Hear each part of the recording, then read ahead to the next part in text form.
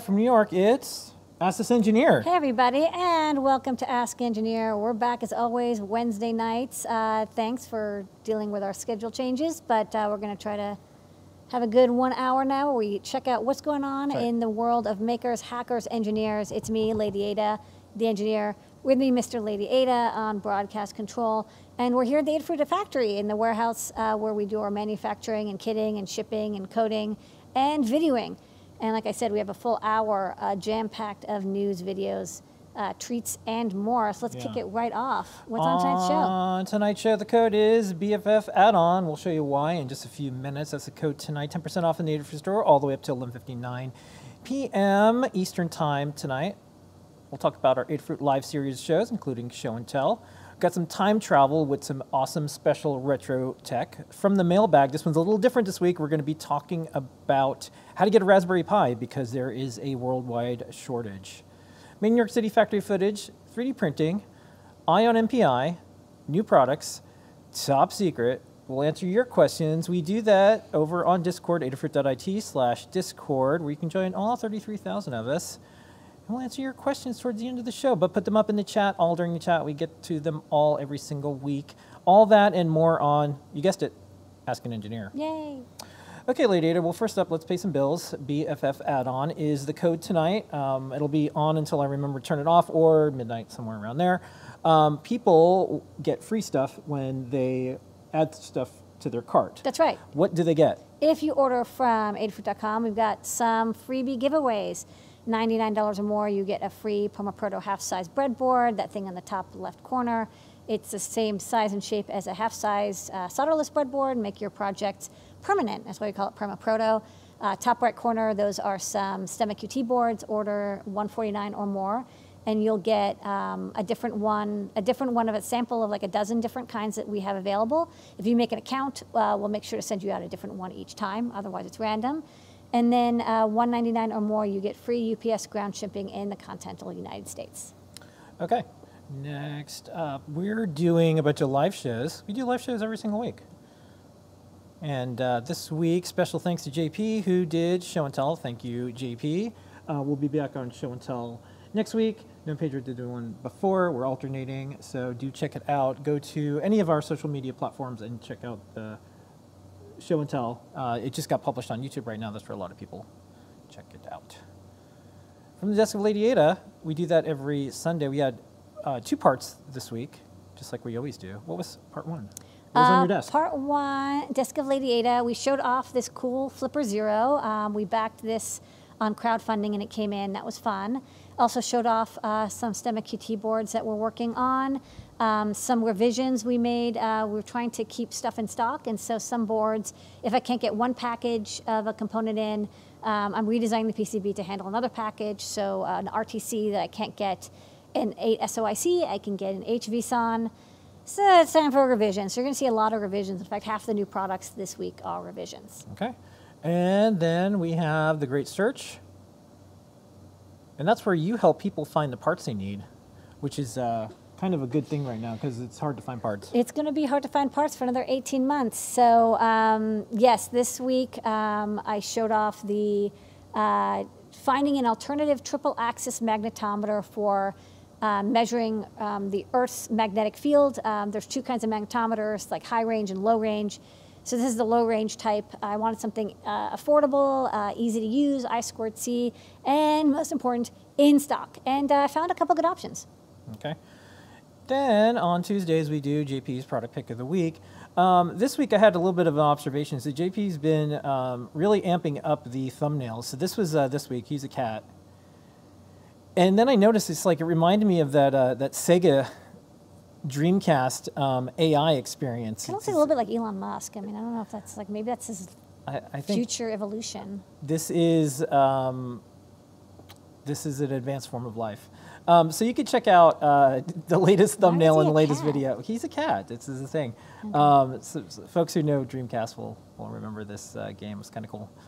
And a uh, tin can, right? yeah, so uh, here is the latest product pick. It is the OLED Featherwing 128 by 64 display. You can use that STEMMA QT port to add another peripheral. So this is Bongo Cat. And if I hold these, these are going to play a little sweep on the Game Boy, original Game Boy audio hardware. The extra bonus here is that you can see I've plugged into the STEMMA QT port a little accelerometer. And as I tilt that accelerometer, it's a variable that changes the rate of that sweep. It's pretty short sweep if I'm at one, gets a little longer, and even longer. On the side of the OLED, same pins as my feather, NeoKey feather there. OLED feather wing, it's 128 by 64 I squared C display with STEMMA QT port. All right, and then on Thursday we have JP's workshop, and on JP's workshop we have uh, we have sirens in the background today. Uh, we have the Circuit Python Parsec. Yeah. yeah, Circuit Python Parsec. Take it away, JP.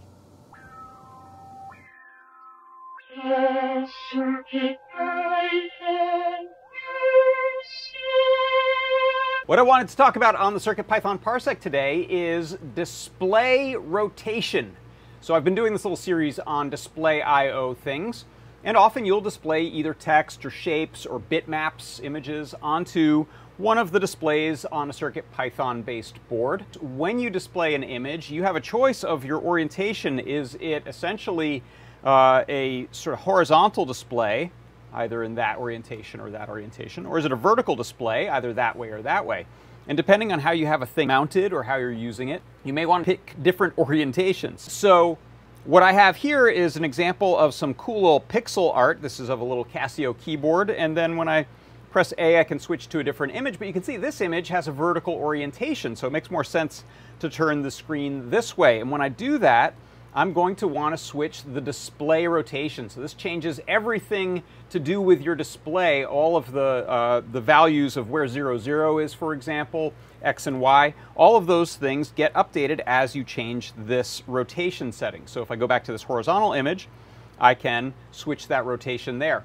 And you'll see the way this works inside of CircuitPython. When you've set up your display, you can see this value, display.rotation is set to zero, and that's this sort of default but we can put it 0, 90, 180, or 270 to get those four different orientations. We can't do partial angles, just these four orientations. When I press one of these D-pad buttons, I'm simply updating that display rotation equals 0, 90, 180, or 270. Then I'm also using the A and B buttons to just do a sort of mini slideshow between images. And so that's how you can adjust display rotation inside of CircuitPython using display rotation. And that is your CircuitPython parsec.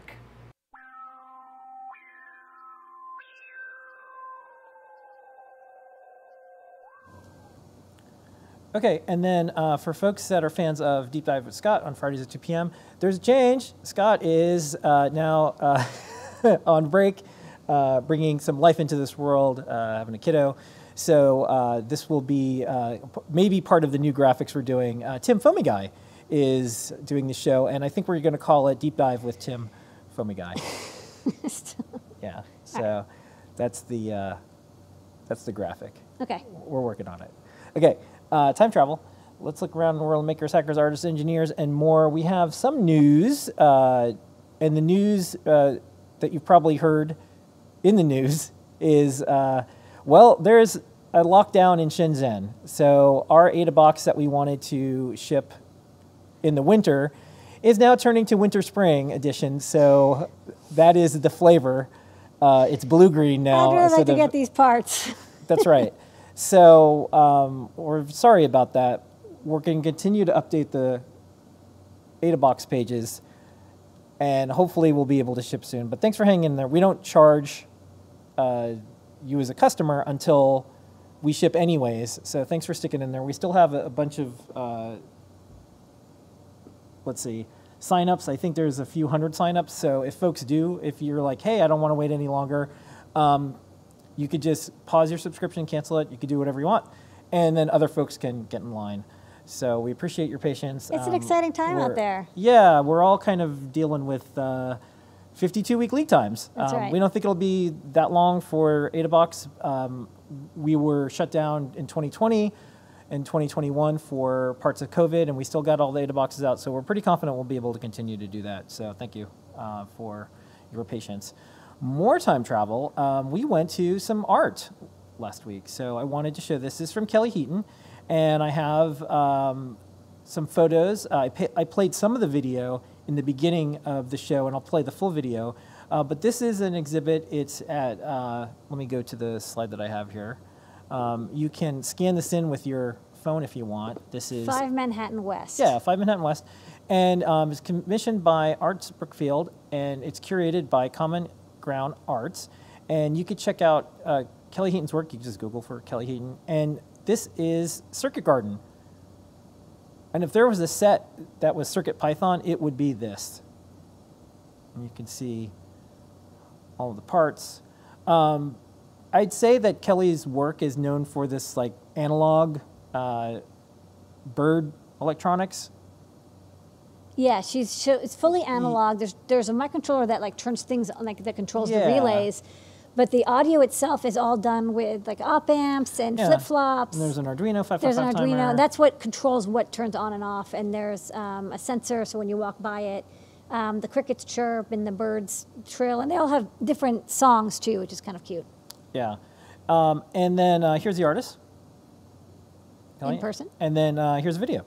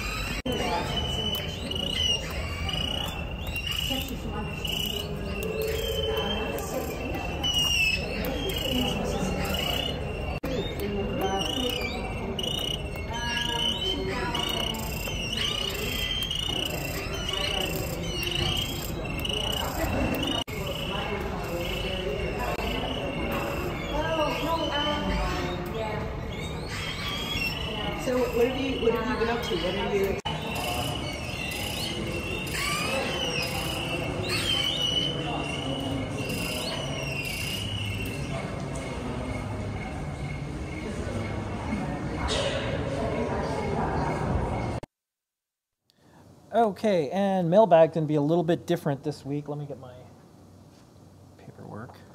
Got paperwork. So this week's mailbag is going to be all about the Raspberry Pi and what we're doing to cut down on um, people buying up all the Raspberry Pis and selling them on eBay, people making bots to buy up all the uh, Raspberry Pis, and it just not being fair for folks to get Raspberry Pis. There is a uh, shortage around the world. So um, this mailbag is from a tweet, and this tweet is from a bot that looks at our site, and the bot that looks at our site will tell you It's when. a good bot. Yeah, well, I mean, bots aren't good or bad. It's That's what they true. do. Um, so there's a bot called uh, RPI Locator, and it'll tell you when there's stock anywhere that they follow, and they have tools that can.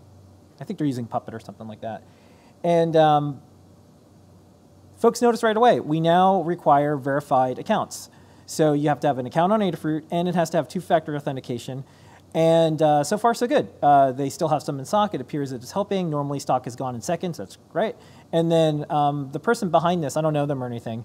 Um, they notice that this is helping the situation, and the situation is there's a lot of incentive for folks to uh, hoard these. And Yeah. so, um, and they make it worse because it's like now there's even less, right? Like I think Yeah. people who really need them could get them if it wasn't that there are people who are purposefully trying to grab Yeah. them to sell them. So we've more. tried a few different things. Um, we've we've reached out to folks that were you know were like, hey, you're you're selling these on eBay. Please don't do that.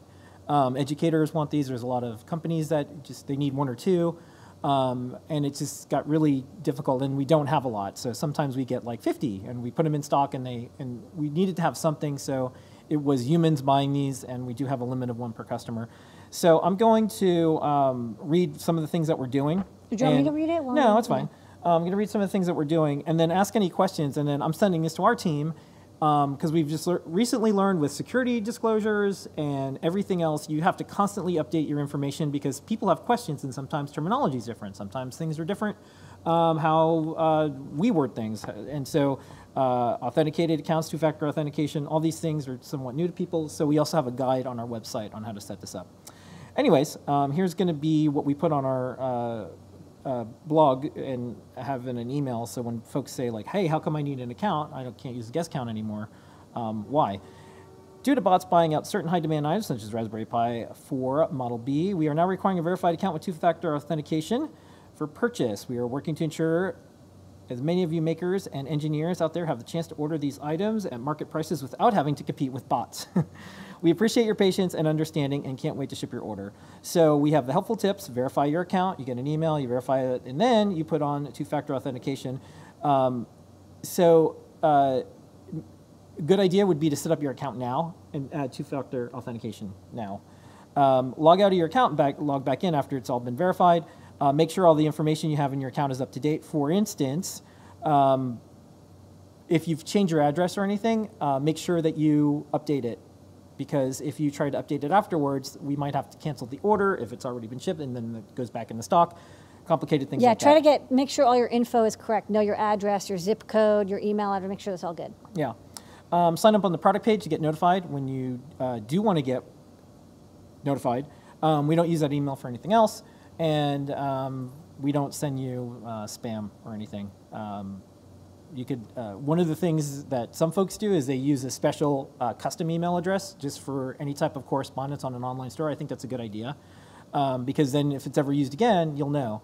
Um, what else I got? Um, then we have a link to the guide on how to enable um, two-factor authentication. Yeah, it's not SMS. You're going to use an app or a computer program called Authenticator or Authy. It's a free app. I've also, um, if you want, I made a CircuitPython powered. Uh, me and Brent both made CircuitPython powered uh, one-time pad. Um, sorry, time-based, uh, you know, password authenticator thingies. Um, using uh, a PyPortal or other Raspberry Pi device. So you don't even have to use an app if you don't want. You can build your own uh, if you don't trust apps or if you just want to run it on your computer. So a lot of options are available, but um, two-factor um, as well verified accounts has really, really helped cut down on the number of bots because we want to make sure that it's really one per customer and not one Yeah. per customer per second, um, which was which is becoming a problem. And I think it worked this time because we had we put in a couple hundred Raspberry Pis and they lasted um, at least 15 minutes, and that's never happened before. They usually were all snapped up in two or three minutes by these uh, by these bots. Yeah. Okay. Um, so the feedback uh, that folks had, uh, so folks like the emails. That's good. Uh, kind of annoying that you have to have two-factor auth- authentication for some items, but at least it's uh, TOTP based. So yeah. Yeah, no have that. SMS, so Yeah. that's good.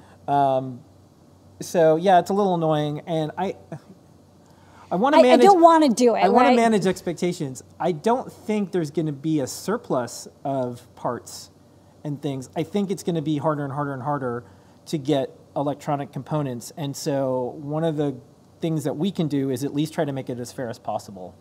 Um, we won't always succeed, but this is just one of the many things. Also, two-step, uh, two-factor authentication is a good idea, anyways. Yeah. Take it from us. We just had to do a data disclosure. Um, there was an exposure, possibly.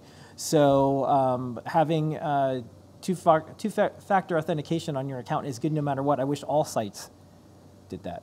So it's a good idea. Not password data wasn't leaked, but Yeah. if your password does get you know exposed by some website, uh, or you reuse your password, which you shouldn't do, but a lot of people do anyways, uh, two-factor is Yeah. another level So of free. OTP works well. Someone just set it up on the iPhone. Um, two-factor in this day and age should be everywhere. Agree. Um, and then someone wanted to know where to find the DIY Uh, just go to learn.adafruit.com and type in TOTP. Um, that's the that's the way of. It's a very simple um, hashing system. That's not, there's no secret sauce to it. You know, you basically when you do this two-factor authentication, they give you a number, and then you hash that number with the current time. Like you put it together with the current time, you hash it, Yeah. and that gives you that six-digit code. So. Anyways. Again, you, you can just run it totally. You don't want to have to run an app. You can run the code on your computer. All right, so slightly different mailbag this week uh, because we're basically talking to a bot, but there's a real human behind it. And um, thank you everyone for understanding, and uh, we're trying to keep it as fair as possible. Hopefully, we this want to out. get the Pis to the individuals, and so Yeah, this is will- this is the steps we're taking. Uh, You know, as soon as the Raspberry Pis are available, um, we will remove this Yeah. limitation. Okay. Next up, it is now time for some retro. I need something like spherical in my life. Yeah, so this is the future we could have had. So this is a mouse. This is from. Oh, you want to want to get that? Want to put it on the Oh, overhead? yeah. Hold on. Yeah, so I'm going to show the photos, and Lady is going to show this. This is from I think 1999. It's got Say. a '90s feel to it, kind of '80s and '90s. Yeah. So this is the Hold space on. ball from on. Spacetec. Spaceball. Hold on. And uh, Okay. it came with a little uh, card on how to use it, the quick reference. It I'm has 8 I'm buttons. ready. Okay. Wanna- So uh, here. Yeah. So this is like a little sphere, and it has a little bit of give, not a lot of give, but like it doesn't rotate in place. Yeah. And there's a little nipple. Yeah, and Nipple. you can go this way. Yeah, and you can see it. I can yeah, see- and this is- was used for 3D rendering and more. And then maybe on the other side, let's check out, see if it has a date on it. Um, it has a serial number. It says QA tested. It says model to 2003, but I don't think that's the model. I don't see a date code. It has a patent. And it says assembled in the United States, which is pretty cool. And then it's got like PS2. Okay. So uh, that's our first retro thing that we wanted to show. And the next one, um, this is really cool. We have this here. This is the Panasonic Transistor Radio R72 Toot-a-Loop. And 1972 is when it came out. And this is another glimpse of a possible future and doesn't mean we have to design things that all look the same like uh, and this isn't like the MoMA. black rectangles. Yeah, this is in the MoMA, and uh, this is in the Adafruit collection, and it's a FM radio, and you could see AM um, radio. Right? I think it's an AM radio. Yeah. Not FM. Well, you're going to take it out of the box to find I out. don't, I don't know. Yeah. I guess I have to. Sorry for. Wait, how do I take it out of the box? It's triangular. Do you have to open it from the bottom? What Triangle box. triangle? box. No, you can't pull it out, right? Because you have to. like- Well, we're doing the the video here, so and I think. Okay. Uh, all right. Yeah, it's it's AM. All right. So I'm going to do the overhead. Yes. Okay. Okay, so it's an AM radio, and then this is the dial where you can tune it. This is the on-off. Yeah, you can turn it on. Or where's the think, on-off? I think I think the batteries are. in I think the battery's dead. The battery's yeah, the battery's left dead. it on. Whoops. It was two Um, looping all night. Yeah. So uses a nine volt. Yeah, and you can um, you could wear it. That was one of the things Yeah, you could wear it fashion. as a as a as a thing. So now I have a bracelet. Two loop bracelet. Not so bad. Yeah. Goes great with your bell bottoms. Yeah. Um, I like this dial. It's a fashionable dial. Yeah. So yeah, AM radio, and then there's also a headphone jack. But there's a built-in speaker here too. Made in Japan. Okay. Toot-a-Loop. And that's this week with retro. Um, we'll be posting something every single day. It's a good idea to look back in time, get inspirations for designs that you may want to do. Not everything needs to just be a uh, black rectangle. Um, you could do a lot, especially now with 3D printers. And uh, Be inspired. there's a lot of uh, folks that are still using some retro hardware for input devices. We found the protocols, so we're going to try to get this to work with CircuitPython. It's one of our projects. We will let you know when this is done. But look at this thing. Nothing says 90s like this. I'll tell you what it is. It's the totally unnecessary grid. Like the grid is not useful at all. There's no purpose to it. It's not like the sphere moves within the grid. It's just like it's got Yeah. a grid. And you know, I don't know for sure, but I, there's got to be someone still around who worked on this.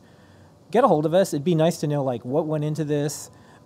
Some like guy in Osaka or something. Yeah, I mean, like there's there's someone out there that knows a lot about this. I've been looking around online. Um, it's just like a lost history. It's like, how did this happen? And and if you think about it, if, look at these des- these designs. Panasonic. This was uh, '72.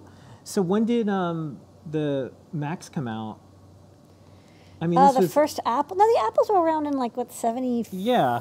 So they, so these all existed all at the same time, like different different Yeah. versions of, of Apple and Panasonic, and it and it's interesting because Panasonic, you don't really associate with them with like music players, you know, they're like cameras and like industrial stuff. I think like, they did stereos, but this is I you know I think everyone was doing transistor radios. This was Yeah. a really big deal.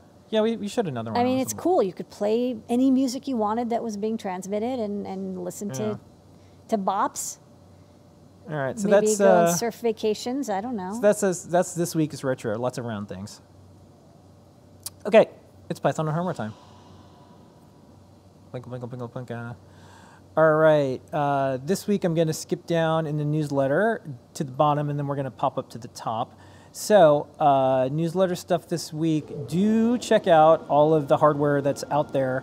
Um, this is a Raspberry Pi Pico Power 3D mouse with Circuit Python. There is a pseudo Linux written in Circuit Python for the Raspberry Pi.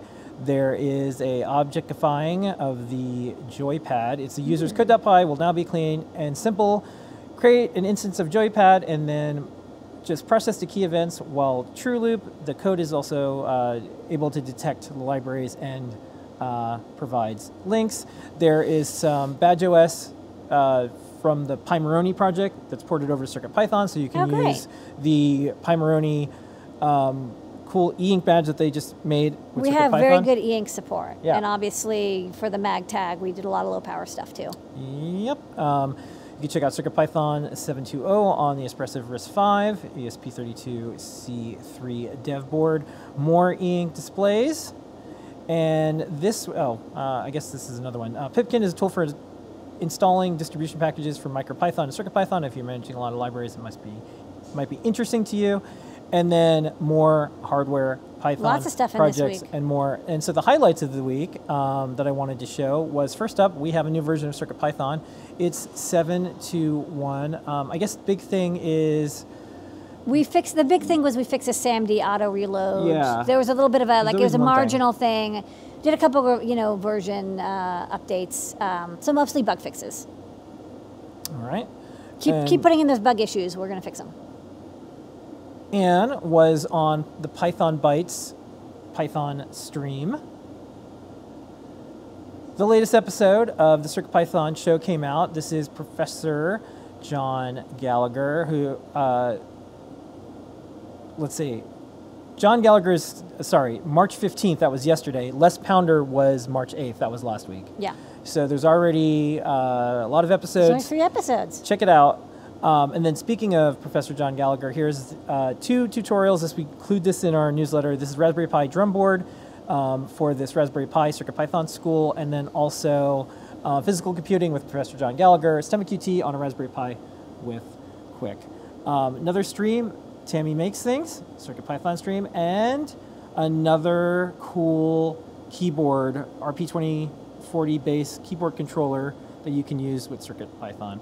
All this stuff is available in Adafruit Daily. It's our separate website just for newsletters. Go to adafruitdaily.com. We deliver these every single week, and that is your Python on hardware news for this week. Okay, Lady Ada, we're open source hardware company. We have 2,638 guides. What is on the big board this week? Okay, this week we've got, uh, I published a quick guide for the E ESP32C3. Uh, a lot of folks got this board. I'll tell you, actually, I didn't realize we actually had put it in stock because it went in and sold out so quickly. I didn't, I didn't get a chance to, uh, to notice.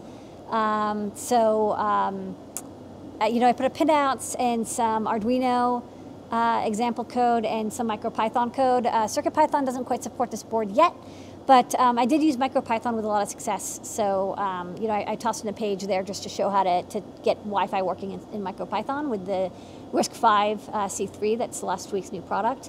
And then Pedro did a 3D printed heel clip project with these cool new Nikes that um, can, you can like 3D print Yeah. and attach stuff I onto. actually have them right here. Yeah, so they're like attachable. Yeah. So why don't we go to the overhead on this? So I thought these were neat. It's a Um, Sorry, I gotta move my Toot-a-Loop. yeah, it's a it's a collab. Um, let me find the. So it comes with this little like dog tag thing, and that's how that's they're like, oh, this is how you. I I think you should use a screwdriver. Yeah, by the but I think they're being hardcore. But they're just like, oh, this is this is the thing that you can use, and you unscrew this, and then you take these off, and you can put different things. On. other ones.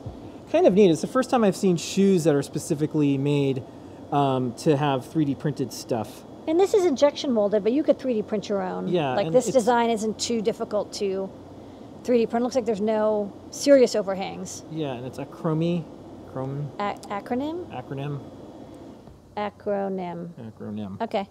Well, they made um they you know modeled it, and so if you want to do your own 3D printed Yeah, shapes, we're gonna show the video in a Yeah. minute or so. But anyways, those are shoes, shoes, and then um, 3D printed shoes. Sorry, there's like two more guides, Yeah. and then. Uh, we've got the guide up for the ESP32 Feather V2. Um, this is like a total respin of our ESP32 Feather, so check it out if you've got one of these. Um, there's a lot of extras, so we had to document all of them. So we have um, Arduino code example um, for like I2C and Wi-Fi and NeoPixel. And finally, um, for the RFID Wiz, which is this kind of cool standalone RFID tag, you know, program like uh, access um, memorizer and user type thing. It's like basically you can use RFID cards to have an activity occur. Um, just uh, they was originally designed for escape rooms or interactive exhibits where like a card would unlock something or turn something on.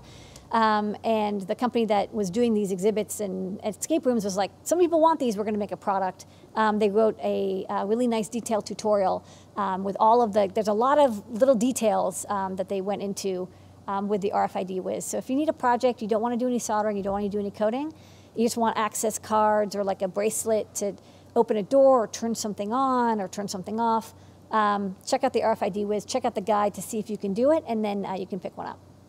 Okay, let's do some factory footage.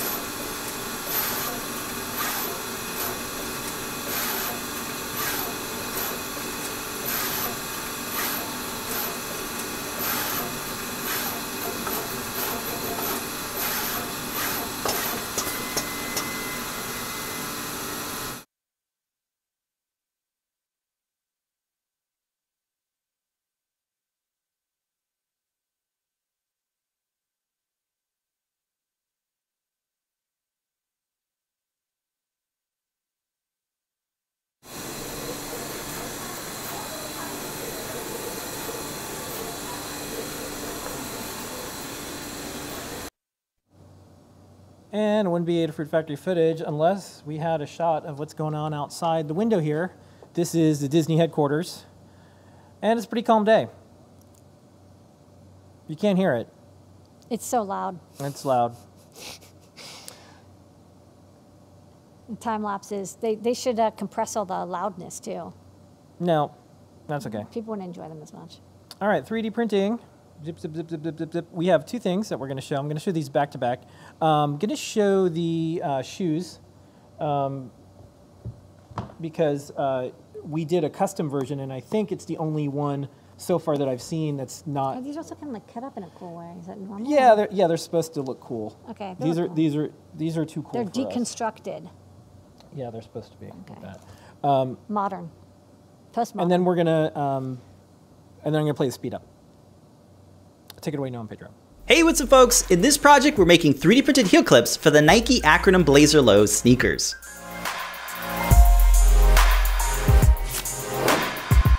We designed custom parts to fit NeoPixel LEDs in Adafruit Circuit Playground. These shoes have threaded inserts so you can easily attach 3D printed props and accessories. Our rocket inspired boosters are motion activated so they'll light up and animate when you jump up or take a step.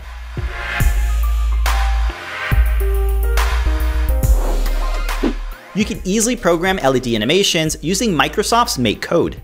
This is a block-based programming editor that we think is great for folks who are just getting started. The hardware simulator lets you test your code so you can write programs with just the Google Chrome browser. You can connect your board and upload your code over USB. MakeCode is free and supports other hardware, so be sure to check it out. We think it's great for folks who are teaching in educational settings and workshops. You can get the parts to build this project, links are in the description. The parts are 3D printed using PLA filament. The wires are routed through the boosters and attached to the heel clip using machine screws. Be sure to check out the Learn Guide for a full step-by-step -step tutorial on building this project.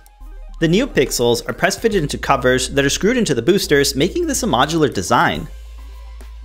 The circuit playground is fitted into a clear case and gets attached to the heel clip with a tripod screw adapter. Alligator clips make it easy to connect the NeoPixels to the large pads on the circuit playground. The battery is fitted into a protected case that is secured to the heel clip with additional machine screws. A JST extension cable makes it easy to plug directly into the circuit playground. The heel clip assembly is fitted over the sneaker with the mounting holes nicely lined up. Thumb screws make it nice and easy to secure them without having to use a screwdriver. We think it's really cool that Nike made shoes for 3D printing and they're a really cool platform for the DIY maker community. We hope this inspires you to check out Adafruit's Circuit Playground with MakeCode. Thanks for watching and be sure to subscribe for more projects from Adafruit.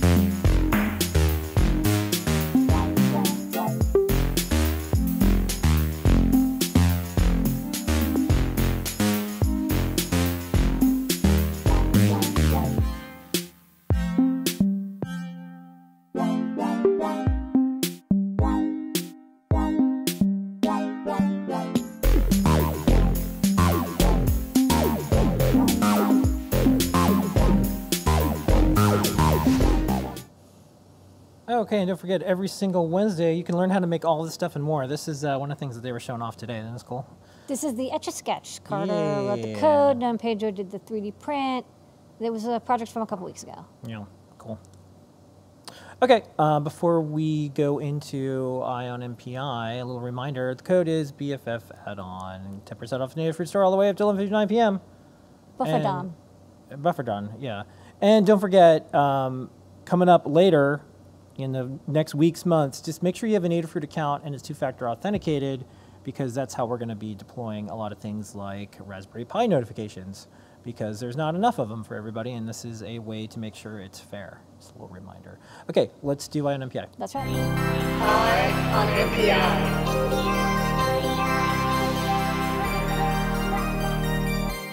Okay, Eye on NPI, brought to you by DigiKey and Adafruit. Lady Ada, what is this week's Eye on NPI? Okay, this week's INPI is by Murata. Uh, they make all sorts of precision industrial sensors and devices. Uh, we've covered them before um, from some of their power supply stuff, including a cool video. Um, but this week we're going to uh, cover a interesting part I've never used before. It's an inclinometer. Uh, this is the SCL 3300 inclinometer. It is um, a sensor that, as you may guess, measures inclines, tilt. Um, uh, so this is a, uh fairly new uh, sensor. It's got a SPI uh, interface. Um, you know, it's kind of this big chunky piece. Uh, you know, runs on three volts and uh, will give you both acceleration out and angle, tilt angle. Has a couple different modes, and we'll go into those in more detail.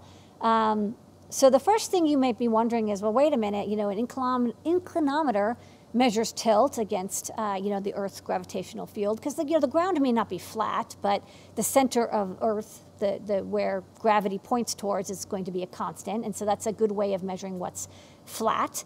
Um, and a lot of people, you know, engineers who might be watching will be like, hey, you know, why don't you just use an accelerometer?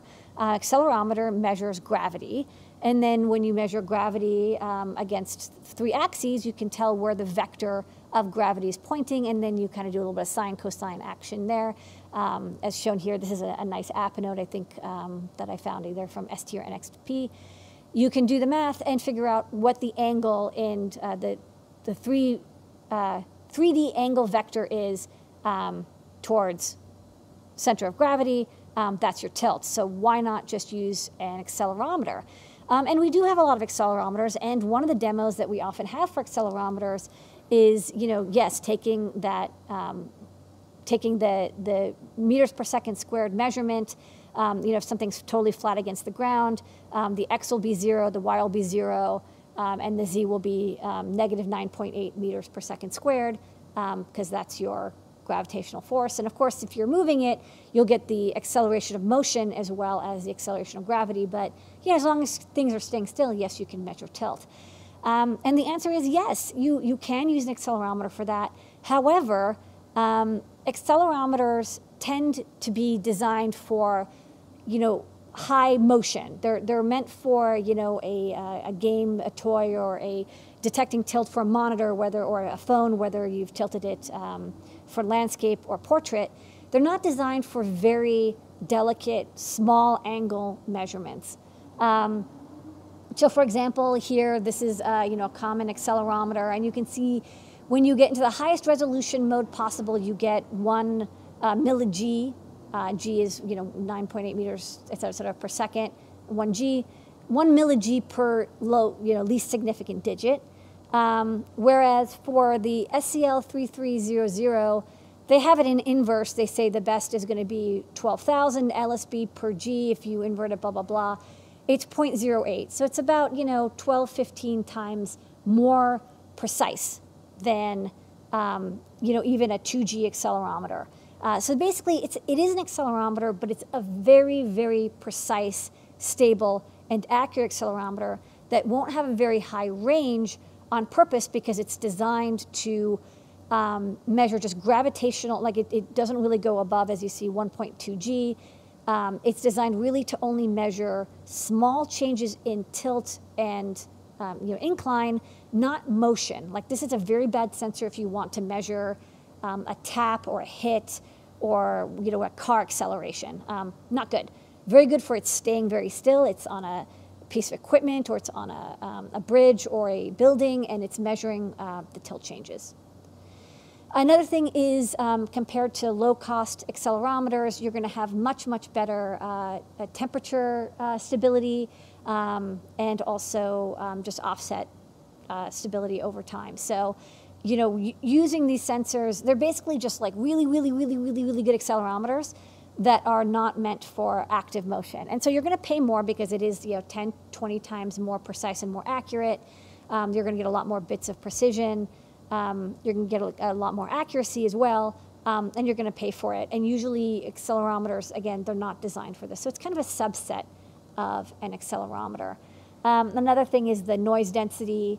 Um, here is a um, sorry, this, this is the L, SCL3300, so you can see um, the best noise density is about 15 micro-G per uh, root hertz. And then um, for a common, sorry, one moment.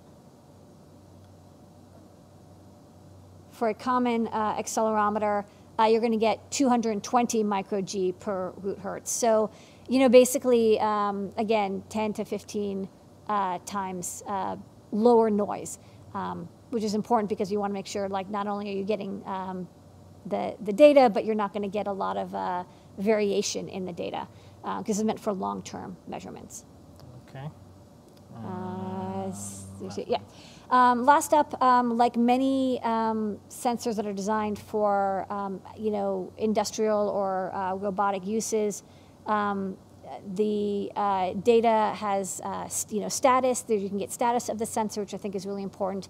And there's a CRC checksum uh, for SPI as well. So you know you can make sure that the data you're sending and receiving uh, comes in correctly. Um, you don't have get any bit errors due to uh, noise or what have you. Um, something that I look for in, in, a, in a good quality sensor. If you're paying the money for an inclinometer, uh, you want to make sure the data you're getting is really um, the right data.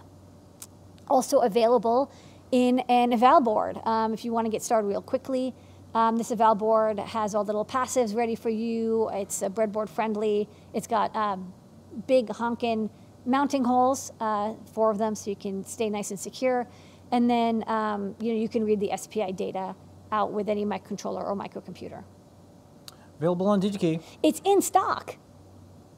Yeah, this is a screenshot from just right before the show. It's it's available. You can buy it. Um, so that's really important. Um, and I looked, and as, as, for inclinometers, this is definitely the least expensive um, inclinometer, but it's fully featured, uh, and I think will do the job quite well for all sorts of industrial and robotic purposes. Okay, and we have a video. Yes. This, so I'll say one thing. The video is for the SCA 3300. That's the accelerometer version, but it's I believe they're either very similar or this is a reprogrammed version. It's the same functionality. It's just this is the inclinometer output, not the accelerometer output.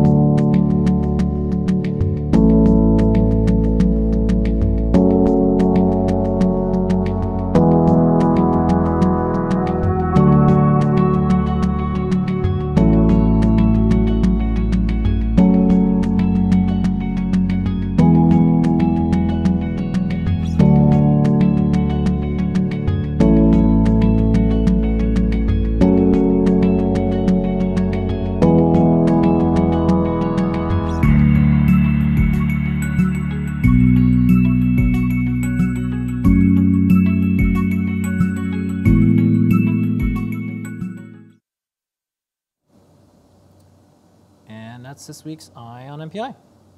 Eye on NPI.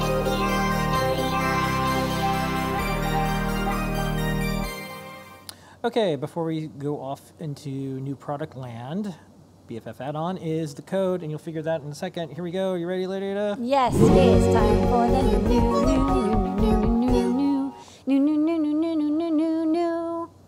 All right, so first up, we have a revision. We do. We're going to see a lot of revisions in the coming months because if I can't get parts, I have to revise the board, and sometimes I kind of do a little bit more revision because, like, I'm in there, might as well fix a couple other things. Uh, so this is the USB Ultimate GS. Uh, sorry, USB Ultimate GPS. A lot of TLAs in there. Uh, this is a USB-friendly version of our Ultimate GPS board, uh, very popular um, GNSS, uh, which allows you to uh, get data from the sky to get the exact time um, and also your exact location, handy for all sorts of purposes. Um, this one has both the built-in antenna and also you can uh, connect an external antenna so you can use it indoors, have the an- antenna outside. Uh, so this revision, uh, what we did is we changed the CP2104 chip for a CP2102N. Shouldn't affect anything. The driver's the same, functionality is the same. And while we were at it, we also changed the micro B to a USB-C. Why not? Also changed a couple parts to uh, 0603 instead of 0805.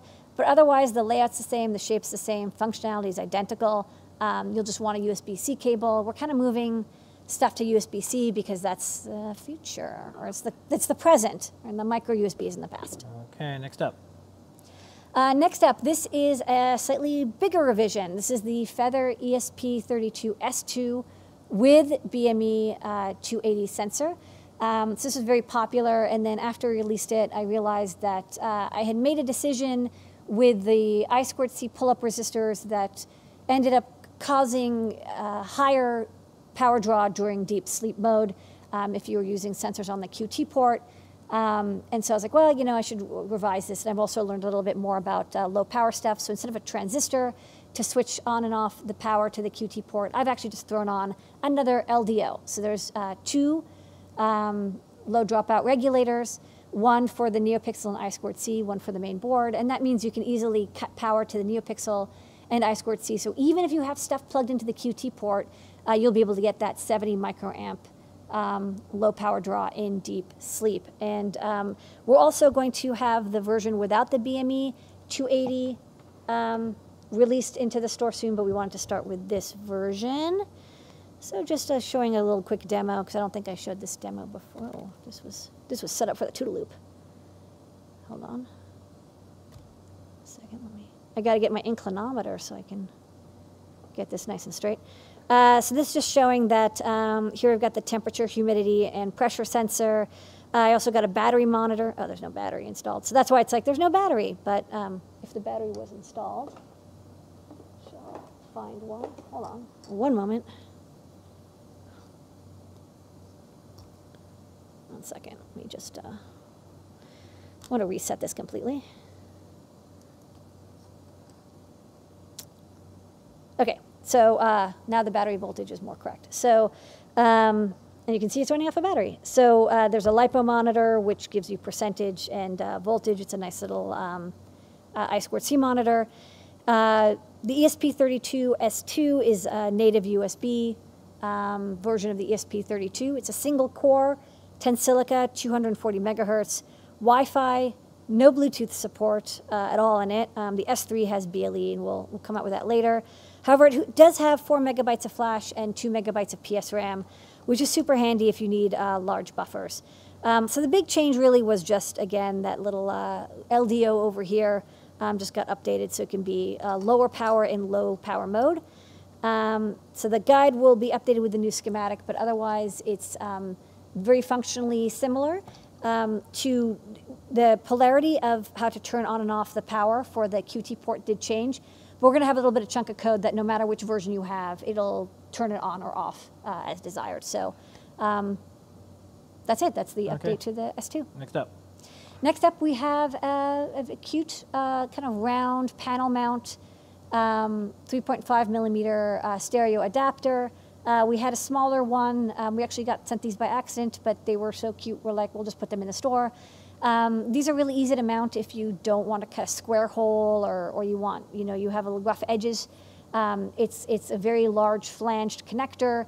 It hides, um, you know, any burrs in the hole quite, uh, quite nicely. And so we like these for, for panel mounting um, because uh, even somebody with just a simple hole saw um, can cut it into almost any material.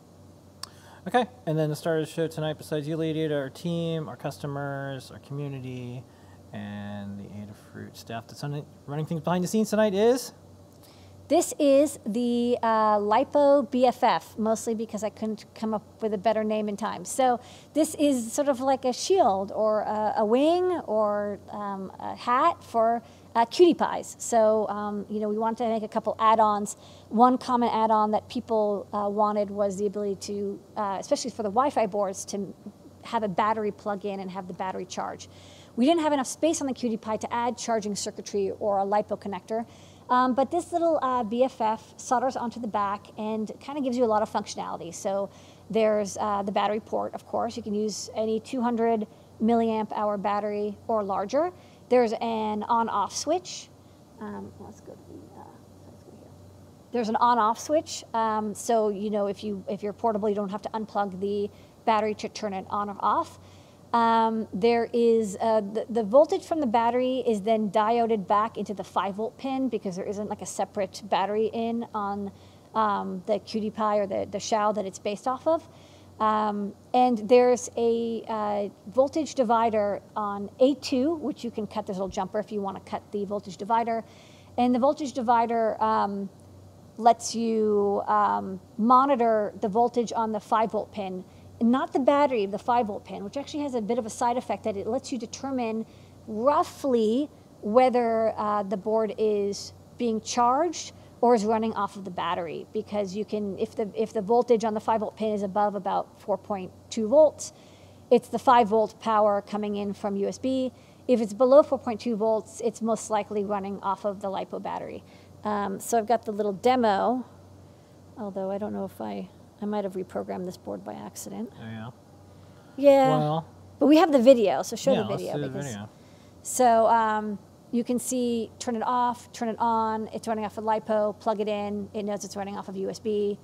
Unplug USB. It knows it's running off of LiPo Okay, that's again. smart. Yeah. So I got Okay. the demo down to six seconds, um, but then I was messing with it. Is new products.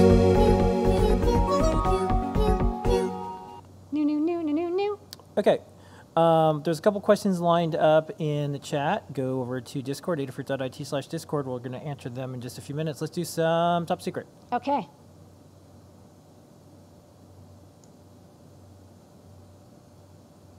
Okay. Uh, first up, here is a uh, latest from Jepler with some cool floppy stuff. Okay, here we are, just finishing up writing a floppy with the Adafruit floppy prototype board and FluxEngine software on our standard computer. Let's take that hot off the presses floppy disk action there and put it in our vintage Apple IIe.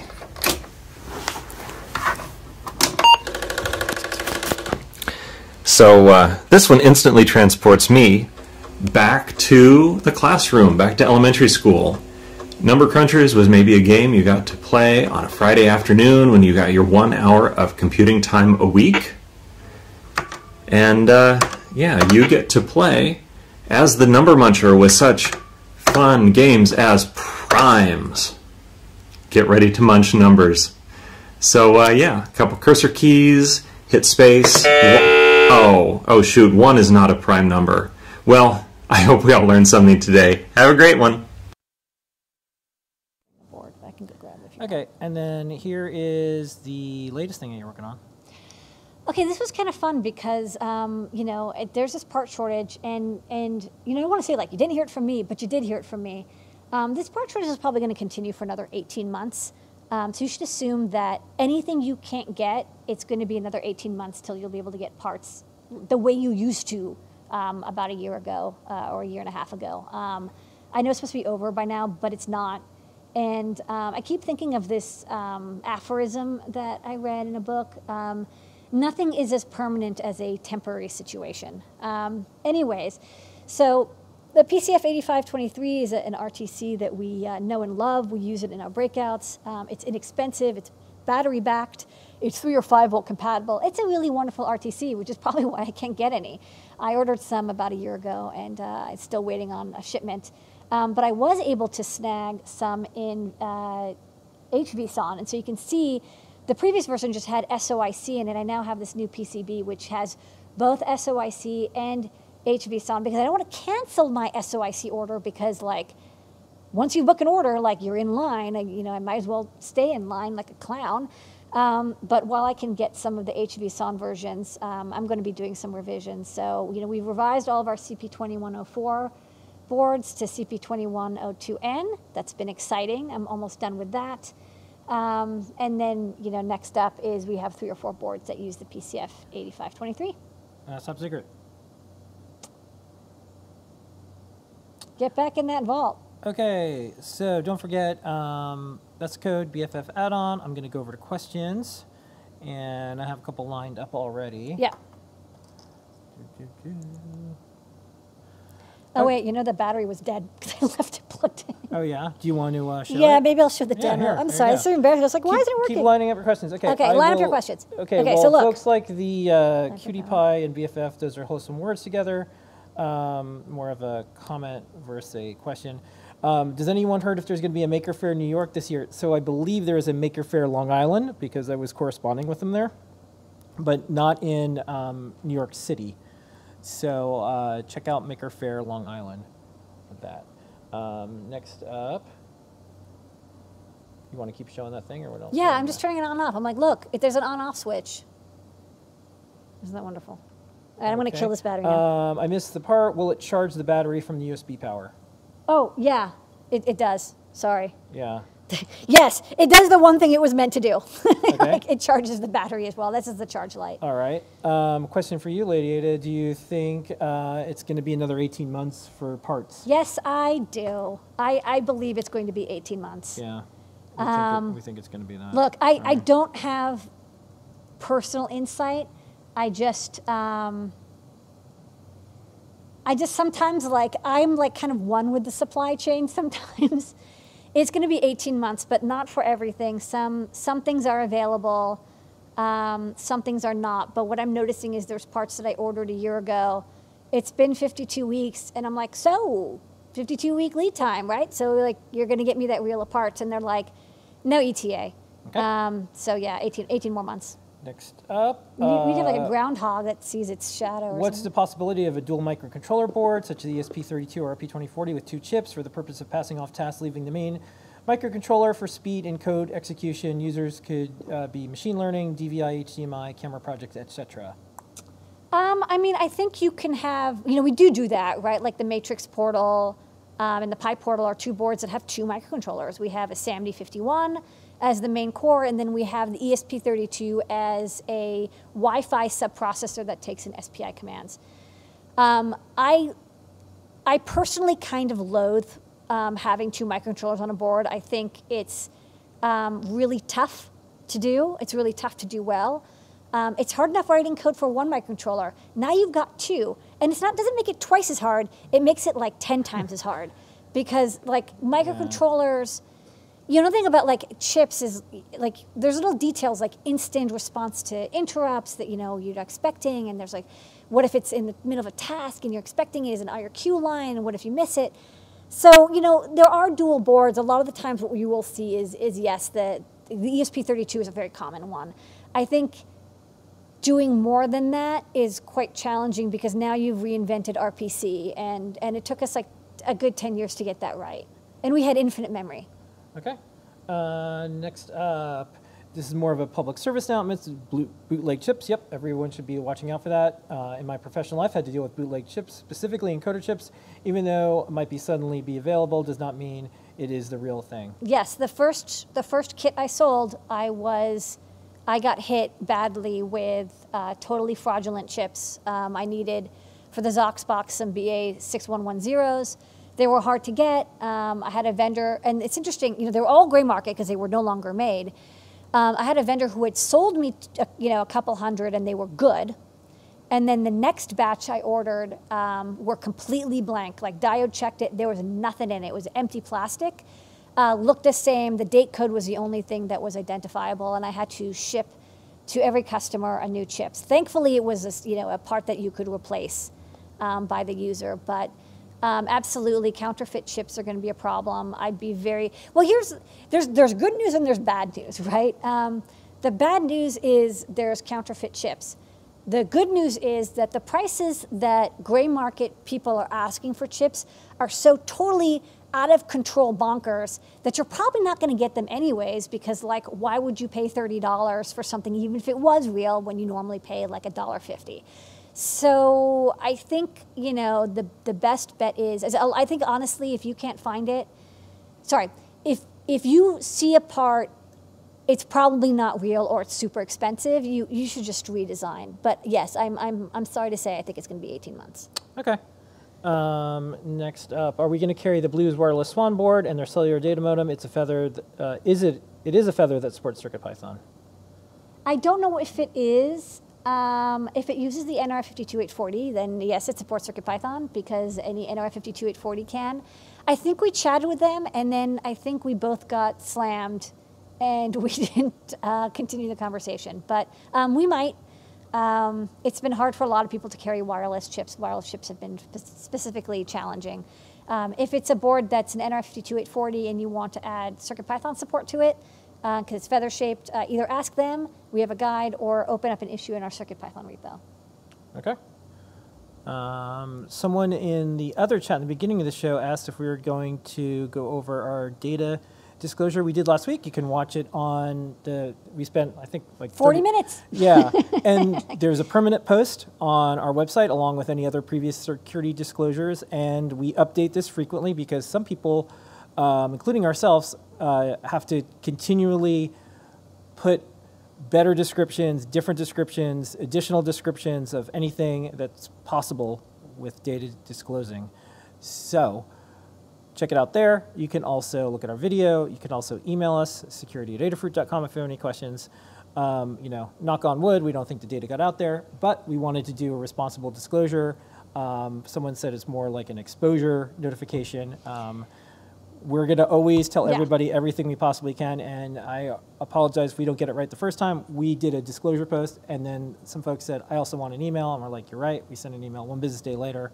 So we'll continue to alert customers for absolutely anything that ever comes up. That is our promise Yep. to you. And we'll keep updating it. Some people have questions about words that we used and they Yeah. interpret one way and we didn't mean them that way. It's not a big deal. We'll, Yeah. we'll keep updating the posts and also. And I think um, next time I'm going to do a. Twitter Spaces uh, Q and A because that's where a lot of the questions came from, and it's real time. So I think that's one of my lessons learned. Yeah. As well. All right. Uh, let me see if there's any more questions. Do, do, do. I got a 3D printer today. Uh, hey, should I set up Octoprint? Guess what? Can't get a Raspberry Pi for under $120 anymore. The two, uh, the 2B isn't sufficient. I'm guessing I'm also going to be 18 months on being able to actually get that. Well, Kevin, here's what you do go to adafruit.com, make an account, verify it, do two-factor authentication, and today uh, We'll try our best. people got emails and they were able to purchase a Raspberry Pi, I think specifically for their 3D printers. Yeah. So um, I don't think you'll have to spend that much money. Um, one thing Adafruit's not going to do, we're not going to charge more than uh, we have before for Raspberry Pis unless our price goes up. Um, but we're not going to charge. We're 120 charging. We're yeah. charging the, the price that it is. You know, I, I, the thing is, is that a lot of people um, got very addicted um, and reliant on the extreme surplus of very low cost single board Linux computers from the Raspberry Pi Foundation. Um, it was so awesome to be able to get, you know, for $35 a, a full Linux computer that could run Octoprint. Um, you know, Octoprint, it, I, I don't know, it's not going to be 18 it's not going to be 18 months until you get a Raspberry Pi again, but it might be 18 months until there's a steady, consistent supply of all the different Raspberry Pis because I know that, like any vendor, you know, they're going to prioritize some boards over others. Um, so I, I, what the priority is, I don't know, but um, you know, they do have a limited number of chips. Um, they're probably going to use them on the most popular products to get them out there. Okay. Um, that said, uh, you can get a Raspberry Pi 400. Now it's it's a little bigger, but it is a Pi 4, Yes. uh, and you get a keyboard for free with it, right? Uh, so of. you can you can use that. I know it's more expensive, but it is a Pi 4 inside. It has a GPIO header. It has, um, I believe, the Ethernet and everything ports. Uh, so you should be able to use it, Okay. uh, control your 3D printer. Um, one more question. Uh, well, from this person. Uh, what's your recommendation for storing stemma sensors? Also, thanks. I'm sorry, what like like like what? Um, for storing stemma sensors. Um, Kind of a like like anti Like like, an anti-static box. maybe. I have a little, you know, we used to have little storage boxes. I mean, Yeah. they're small. They're you could put them in a bead box or something. Or Yeah, everyone's box. having trouble sourcing parts. Yep, us too. Um, when are you planning on getting more of the Turing Complete Labs 10 digit monochrome display? Also, you will decide uh, if the test runs were successful for a third party board.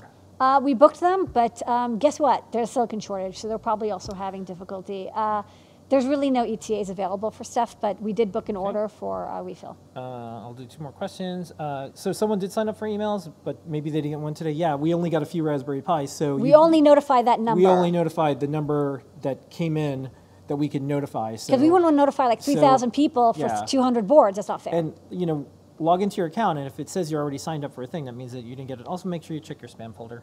Um, next up, uh, do we plan ahead what's in the AdaBox for uh, the summer 2022 AdaBoxes and fall? Yes. So We do. That we plan really far ahead. In fact, we planned so well last year, even when there was shutdowns with COVID and everything, or the year before, that we were able to deliver AdaBox. It's just this latest part shortage is when things are starting to get a little bit more challenging. But we'll get all the AdaBoxes out. Don't worry. Yeah. And you know, Especially since like you know we ordered parts and then they're not delivered by the time. You know, it's like it used to be when you ordered something and they said they'd get it to you in 20 weeks. You'd actually get it in 20 weeks.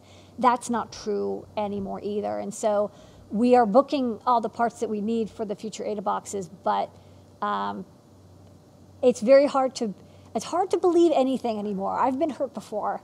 Um, by vendors, so you know we're doing the best we can, um, booking as many parts and, and trying to design around availability as much as possible. Okay. And that's questions. Okay. Thank you, everybody.